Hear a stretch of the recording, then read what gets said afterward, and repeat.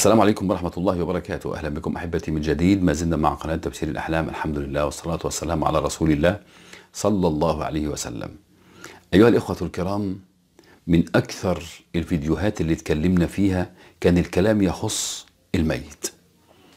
والنهاردة برضو هنتكلم عن الميت ولكن من خلال رؤية واحدة. أني أرى مال مع الميت وهذا الميت قريب. عندي ميت قريب مني رأيته في المنام معه مال.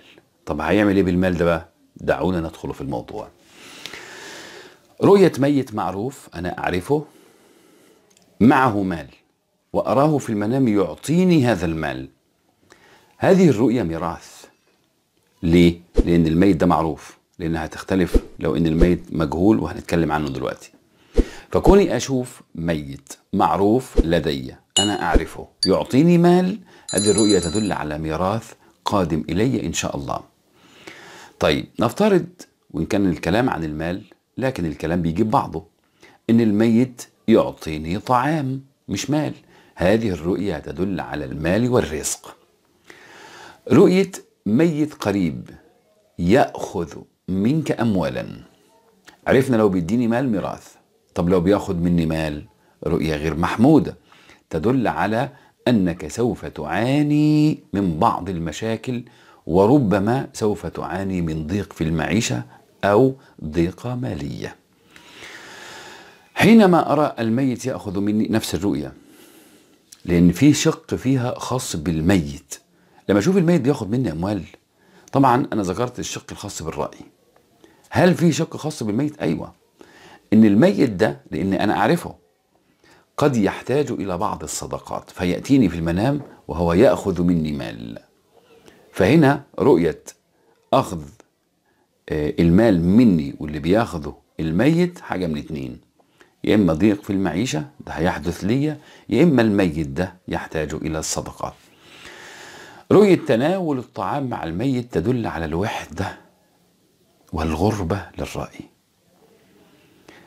الشخص اللي يشوف إن هو قاعد بياكل الطعام من بعض معانيها على فكرة هي ليها معاني كويسة لكن أنا ذكرت المعاني دي كتير. المعنى ده ما ذكرتوش قبل كده.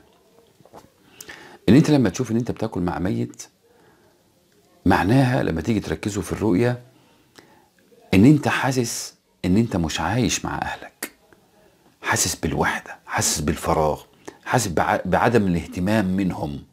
فانعكس ده انك تشوف انك بتاكل مع ميت. وكأن انت بتجد ضالتك مع الأموات لأن انت ما انتش لاقيها مع الأحياء. وقيل أحيانا هذه الرؤيا تدل على الزواج للعزاب لكن بشرط انك بتاكل مع أمك المتوفية. ده لمين للعزاب سواء إذا كان الشاب أو البنت العزباء يبقى البنت العزباء أو الشاب الاعزب شاف إنه بيأكل مع أمه المتوفية دي الرؤيا تبشره بالزواج وكذلك البنت العزباء رؤية إعطاء الميت طعام. ورفض الميت أن يأخذ هذا الطعام خسارة مالية ومع شديد الأسف. أما لو أخذه هذه الرؤية تدل على المكاسب الكبيرة.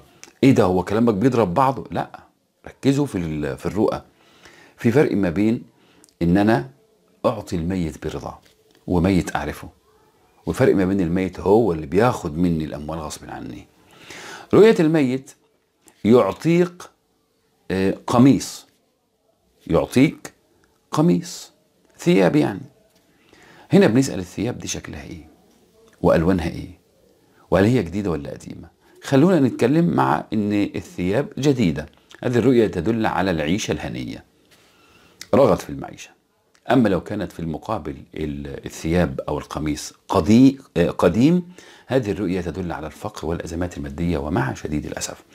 انتظرونا في اللقاءات القادمة والسلام عليكم ورحمة الله وبركاته.